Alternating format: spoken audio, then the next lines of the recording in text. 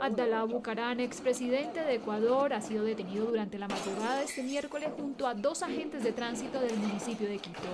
La prensa local ha transmitido imágenes de la Policía Nacional del momento en que ingresa en el domicilio de Bucarán en Guayaquil para detenerlo y trasladarlo posteriormente para la realización de la respectiva valoración médica. Según la Fiscalía General del Estado, al expresidente ecuatoriano se le investiga por su supuesta participación en delincuencia organizada.